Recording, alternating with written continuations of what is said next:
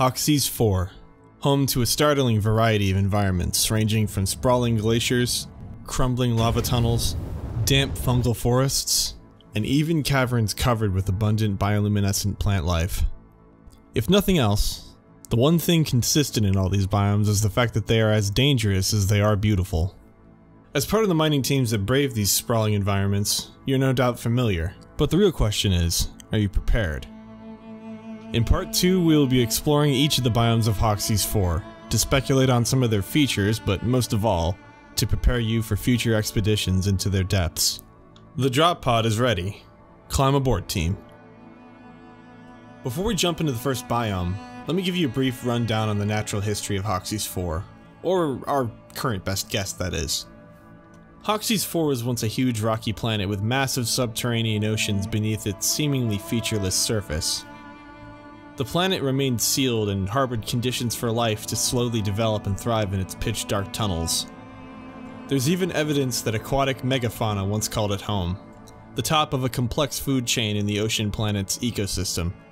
This all changed when at some point, a huge asteroid on the collision course with the planet's orbit made a direct impact with it.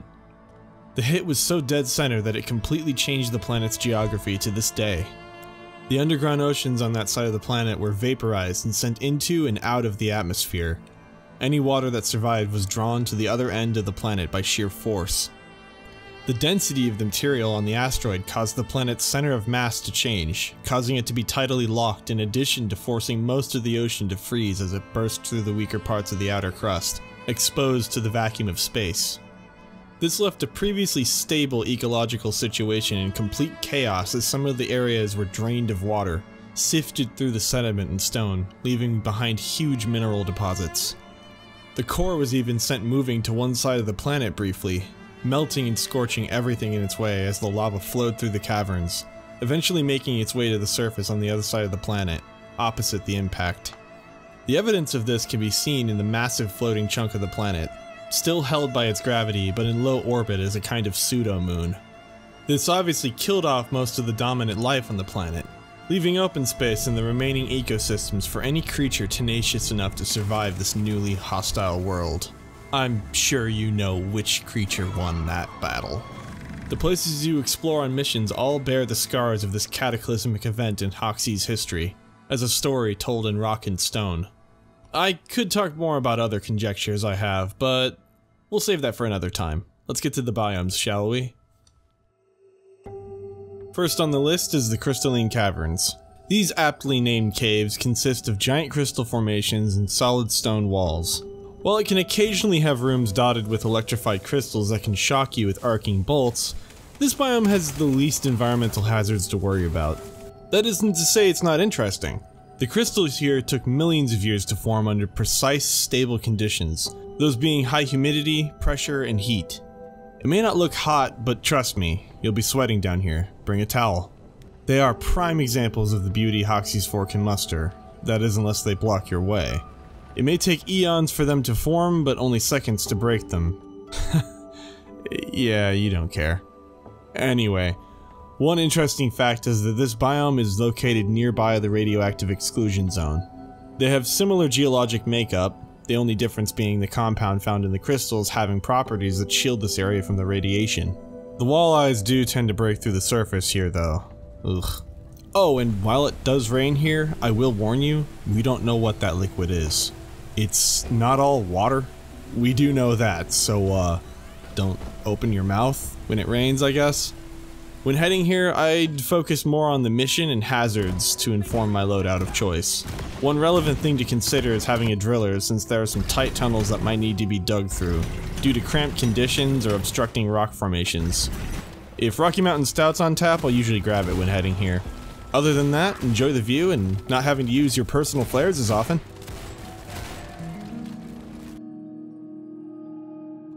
The salt pits are another place with few hazards that require consideration before a mission. I will say, be careful of the stalactites, they tend to fall when hit with explosives or bullets. They can do huge damage when they hit the ground. Do with this information what you will. Since it is a breeding ground for Q'ronar shellbacks, it could be beneficial to consider some armor breaking perks for getting through their shells. and maybe some area damage or damage over time in a crowd control build to quickly deal with the younglings. Just be aware, gunner shields do nothing to stop rolling corners, so be careful when cornered by them. Bring an extra water bottle and something to carry some red salt back with you for breakfast on the rig though. You'll be seeing a lot of it, and it can sometimes make nitra hard to find on cave walls, so use your laser pointer often here.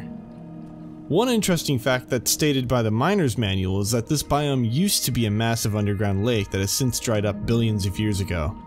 This lake is what remained of the ancient oceans, collecting all the salt in one place before it too dried up. This gives us an interesting look into the distant past of Hoxxes, perhaps giving us a look at a form of deep sea ecosystem before the planet began to dry. Shellbacks specifically may have been a species of giant aquatic isopod that have adapted to living in this dry environment, even turning it into their nesting grounds. Glyphids seem like they are a relatively new species to the region, perhaps preying on the shellback young to survive. We have no real idea. Biological research is extra hard when your choices are being crushed by a chitinous sphere or being torn to pieces. We'll probably stick to mining team mission recordings for now. The fungus bogs are a place of rich biodiversity, if you count 7,000 different species of fungus and lichens. The region is located at a higher elevation and directly above the magma core, in the middle of a giant aquifer. There is no pooling water located anywhere in the caves because the heat below causes much of it to turn to steam and to break through the surface in vents all over the region.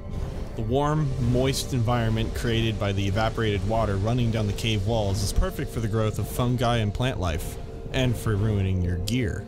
Fun fact, the substrate here is composed of a huge mat of lichen and mold that goes deep into the nutrient-rich soil, making it slick and unpleasant to walk on, I'm sure.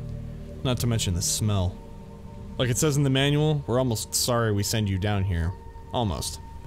The bogs are one biome that can demand some forethought if there are no other major stresses on you, the sticky goo on the ground is sometimes very abundant, so it pays to have Unstoppable or Dash on you to mitigate its slowing effects if you have to run through it. It also affects glyphids, so you can use it to lose them if you're running away from a swarm.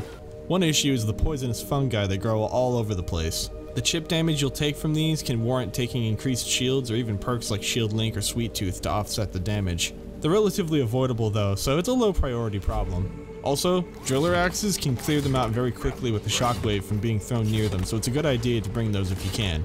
It won't even use up an axe charge, letting you retrieve it after you clear them out. Keep a lookout for those glowing bioluminescent plants by the way. If you hit all the glowing bulbs on them, they'll light the area for you for a time. Saves on flares. Hmm, what else? Mushrooms. Mushroom, mushroom, mushroom, mushroom. mushroom. Guys, I okay. Mush, I mushroom, I mushroom. get, I get it, okay? Mushroom. What I was trying to say is don't eat them. We haven't found any edible specimens yet. No, those tall ones are not giant morels. Just don't, okay? If you can handle that, you'll probably be fine. Next, we have the Radioactive Exclusion Zone, an area of Hoxxes that, as its name suggests, is bathed in dangerous gamma radiation. Our best theory for how this place came to be is that it may be the ancient remains of the massive asteroid impact from several billion years ago. This asteroid contained huge quantities of activated uranium and is still giving off this energy to this day, transforming both the landscape and biology in the process. This impact may also be responsible for the strangely varied geography of Hoxxes 4, the ensuing pressure from it forcing a section of the planet's core into chaos and creating the magma core region as a result from the displaced molten material. The asteroid left very little in its wake, stripping the caves of all but the most adaptable extremophiles, causing strange forms of life to begin growing, feeding on the energy from the radiation. This, of course, didn't stop the Glyphid swarm from reaching down here. Their fast evolution solving the radiation problem very quickly and making them immune to its effects even, the exclusion zone is called the exclusion zone for a reason. It's dangerous for any mission. The notable damage that the radiation can do to you from both activated uranium crystals and the mutated exploders or Praetorians almost demands that you bring along elemental insulation to lessen the hurt. If the creatures can adapt to these situations, then so should you. The radioactive Praetorians also warrant the use of crowd control builds that can turn them away, freeze them, or simply kill them quickly to prevent the AoE they emit. Other useful perks include Shield Link, Sweet Tooth, See You in Hell, and even Veteran Depositor for the increased damage reduction.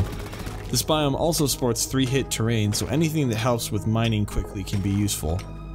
Oh, and to make up for some bad intel in the past, I did say breaking the crystals here from the base is how you got rid of the effect, and even though that does work, destroying the core of them gets it done much faster. The more you know.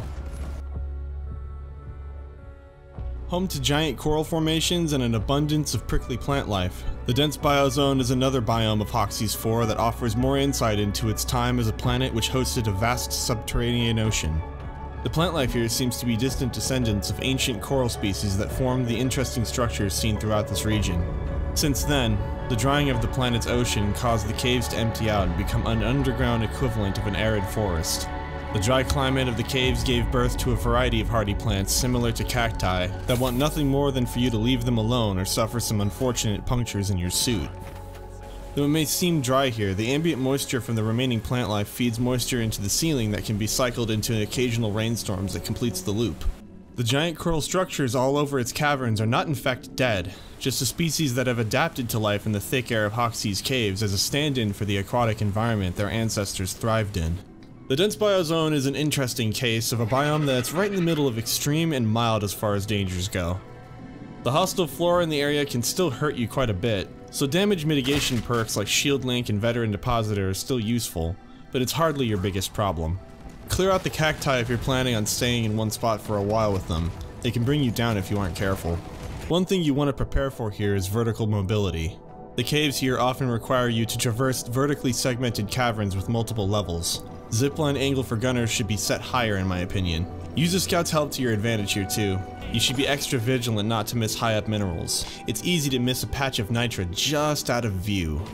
The omnivorous glyphids love this region as a nesting ground, probably due to the easy access to the water stored in the flora here, which has over time caused the plants to develop more and more devious strategies to deter would-be predators, and space miners. Located near the outer crust, the glacial strata is the vast remains of an ocean that once permeated Hoxxes 4. Now located in a massive ice sheet that has settled partially on the surface of the tidally locked planet. When the planet settled back into its orbit after the asteroid impact, the ocean froze quickly as it moved closer to the surface. It cut huge gashes into the rock face, burrowing deep and shattering the mineral-rich crust it came into contact with. This explains why we still find minerals buried in the strata's ice. Of course, while you would think the arthropods of Hoxxes would die out here, you'd be dead wrong. Ever adaptable, many species found ways to evolve a resistance to the biting cold, even developing bodily fluids similar to antifreeze compounds to thrive in these temperatures. Plant life even manages to remain in clusters around thermal vents on the ground where the geologic activity of the mantle beneath still manages to break through. Fun fact, the cold-resistant glyphids here will avoid the steam vents, Perhaps the evolution they underwent causes them to dislike warm temperatures? Maybe you should reintroduce them. The strata has one standout feature that I always want to prepare for, and that is the deep snow patches found all over. It may not seem like a big deal, but the slowdown in the snow can get you killed when running from swarms. Bring Unstoppable and you can run freely and not waste time having to clear snow to move faster. The other issue is if you should bring fire or ice weapons. Fire can be effective on goo bombers and praetorians since they ignite quickly, but keep in mind they also extinguish faster too. Cryo weapons work just fine for swarms, but be aware you will waste more ammo on the cold adapted bugs, the fluids in their bodies resisting the temperatures much longer than normal. The choice is yours, just be aware of the limitations to save ammo. Dash is also a nice boon here, letting you avoid being killed by bugs when slowed by one of the frequent blizzards. Watch for black ice too. It makes movement a bit more challenging but speeds you up if you run on it. You'll be faster than the bugs, so it's a nice way to outmaneuver a swarm. Oh, and bring gloves. I can't tell you how many times we've had miners lose fingers down here because of simple negligence. Don't let that be you.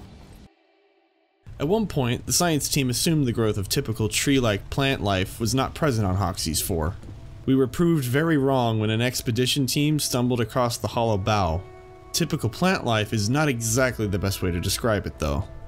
The organism that makes up nearly all of this environment here is a porous, bark-like organic superstructure that seems to have grown from what was originally a large burl on a tree. Or what passes as a tree on Hoxxes. It's possible that when the planet went under the massive change after the asteroid impact, whatever tree-like organisms were living here adapted rapidly to that change, growing haphazardly and combining into a superorganism to absorb nutrients and water from everywhere around them. This can be seen in some of the tree species such as quaking aspens to much less extreme degrees. The hollow bough grew to such a size that it is now less of a plant and more of a biome and substrate to other organisms, including the parasitic thorny vines that evolved alongside their host to cover most of the region. Other notable species are the corpse feeders found burrowing into the bough's bark, hiding when anything gets too close. It has been speculated that this biome is where the Mactera swarm originates from, and these feeders could be their larval young. Either way, it's a good idea to get rid of them. They're gross. Similar to the glacial strata, the rapid growth of the bough picked up many hard minerals buried in the planet's surface as it grew ever closer, and we're here to do it a favor by picking those unearthed gems out of its bark. The hollow bough could be said to be functionally like the dense biozone as far as hazards, except you could argue that this place is much worse. You'll be taking constant chip damage from the vines here, so it's a good idea to take at least one of the aforementioned perks to mitigate or heal the damage back. Increased shields can also help. You also have to prepare for the vertical terrain, so any form of mobility that would help with that would be invaluable. It's also insufferably dark here, so you might find yourself using more flares than normal, so make sure to ration them out for when you need them. Oh, and watch your surroundings. The vines sometimes get a bit antsy when you get close to some of them, and they will try to fight back. Good thing you're no leaf lover, eh? Located adjacent to the glacial strata is a bastion of abundant plant growth that forms the unique and beautiful Azure Weald. It's notably cold here, bringing to mind the upland surface forests of colonized worlds. The area manages to thrive due to being in the ancient path of the glacial sheets that scraped through the caves upturning the substrate and leaving behind silt and clay that could serve as the rooting grounds for many different types of bioluminescent plants. This environment now seems much like a rainforest, dense with life and just as deadly as the term would apply. Unique wildlife resides here in the form of curious hexwing niffers, a close relative of the much more annoying fester fleas, and the mobula cave angel that glides effortlessly through the air, filter feeding on flying insects and the zooplankton drifting in the thick atmosphere. Fun fact, it can be closely associated with the genus Mobula of rays found on terrestrial oceans, earning its namesake. Another thing found only here in the Weald is the magic zones, created by the glowing auras emanated from certain unique rock outcroppings. Our research is inconclusive, but these may be gathering places for airborne zooplankton, the magic aura caused by their bioluminescent glow. Regardless of what they really are, their effects are apparent, the blue type causing significant damage reduction to any living being affected for a short time, and the teal green type curiously causing short-lived low gravity and movement speed increases. We don't know how they do this, and we don't know what else it does to your body. Enter at your own health risk, I suppose. The Azure Weald is an interesting biome in the sense that there's even less true environmental dangers than even the crystalline caverns. The main issue here is not being able to see very well due to the darkness, and the fact that the walls and vegetation do an annoyingly good job at hiding the mission critical assets you and your team are there for. If Dark Morkite is on tap, I suggest taking it to ensure a mist vein of Morkite won't ruin your day. The large open spaces and rolling smooth terrain of this biome may also need you to bring mobility like longer zip lines or a perk like Second Wind to get across. If you get the feeling you're being watched here, then you are. Don't let the Weald's beauty fool you. You're being hunted as always. On the other end of the scale as far as the abundance of life goes, is the Sandblasted Corridor, a windy, dry region of the planet that is the ancient leftovers of the sand and silt layer left behind by the Great Hawkseas Ocean. All the water has been drained from here, leaving nothing but smooth sandstone passages sculpted by the ceaseless wind traveling through them. One thing this biome has in common with another is the appearance of giant xenoform fossils that are occasionally- Hey, editing Siirvend here. So, uh, I was gonna say that there were xenoform fossils in this biome. I searched far and wide for these things to go in the footage, but for some reason the Sandblasted Corridor is the only biome I couldn't find them in. So, uh, I, have I've nearly gone insane looking for them. So enjoy this footage of the bones from other biomes that they decided to show up in. Uh, bad intel, ruining my day again. Hey, get get the guys from the science department on. Yeah. Exposed from the sand, similar to how they emerge from the fungus bogs, perfectly preserved from the anaerobic environment beneath the surface. These skeletons may in fact be the remains of giant aquatic creatures from eons past, but we still can't be sure until we find a way to bring a specimen back for study, which is costly and has nothing to do with the company's goals on Hoxxes 4, so I doubt that will happen anytime soon. Still, the look of these bones reminds me of something. I know I've seen something like this before. Never mind. It's not important. Uh, the sandblasted corridor can have some of the largest, most open caves out of all of the biomes on Hoxxes, even more so than the Weald. Again, second wind comes in handy. One consideration, though, would be the use of hover boots to help save yourself from falls that are caused by the numerous wind vents that can occasionally blow you across the cavern to fall to your death. Also, don't take Rocky Mountain here. It's a waste of time since the substrate is already fragile, taking only a single hit to mine. And no, no matter what anyone tells you on their fifth Smart Stout, zero hit terrain mining is a myth. The Amarr Heartstones might be psychic, but you sure aren't. The only other thing to worry about here is Nayaka cave trawlers. These things are nasty and will try to take you away from your team, so the use of heightened senses might be a good idea here. They can occasionally down you in a couple of hits in higher hazard areas, so they are not something to be ignored by any means. You don't want to see what happens to those who get dragged under by these things, never to return. Oh, and you can use the explosive spores here to your advantage in fights, though we're still trying to figure out why exploding on contact is a very good strategy for reproducing a, for a plant, but you know what? It's Hoxxes. Just shoot them and try not to think about it too much. Lastly, we have the magma core, the depths of hell itself. The use of the word core in its name is a bit misleading. It's nowhere near the core of the planet. Instead, being the epicenter of the geothermal disturbance left over from the asteroid impact in the planet's ancient past. The impact displaced enough molten material from the core to send it shooting through the crust on one side, superheating the region and melting any materials not resistant to the heat. This created vast lava tunnels of igneous rock that you would see in any place where geothermal activity is high, with active volcanoes in the area as well. The lava has since mostly receded deeper into the mantle back to the core, but has left plenty of evidence of its presence behind with the unique cave formations and patterns in this biome. Contrary to what you would think, there are a number of extremophile plants that call this place home, feeding off the heat and using chemosynthesis to survive against all odds. The area also seems to be a favorite place for glyphids to leave dreadnought eggs behind, the behemoths being nearly immune to the heat and their underlings fiercely defending the growing monsters. It goes without saying, I hope. Bringing elemental insulation here is a must. You'll be taking constant damage from the magma, fire events, geysers, and quake open crevices.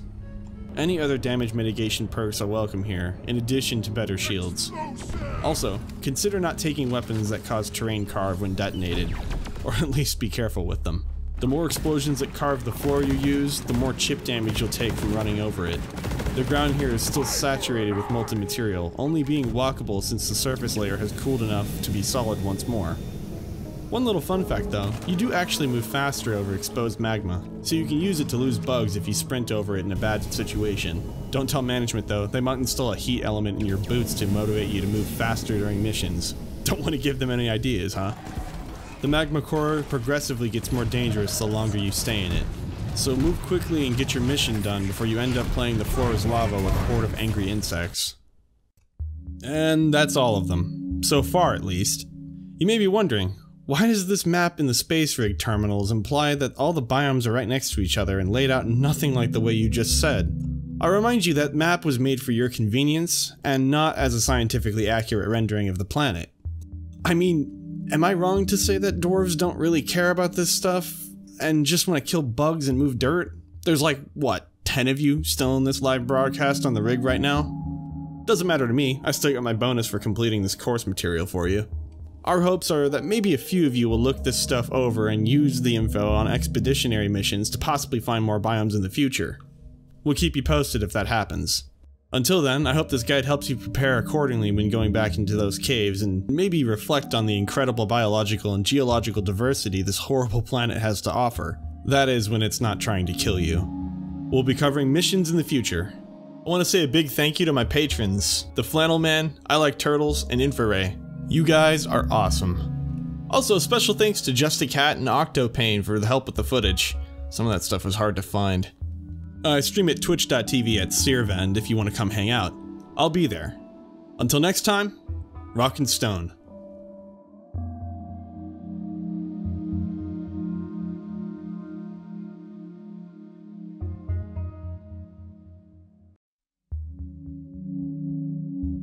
Listen, if, if, if you're still here, uh, I wasn't lying about those bones.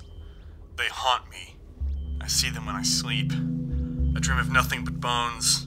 At this point, I'm really starting to doubt my sanity, but I'm not sure if it's the xenoform fossils or just the work schedule.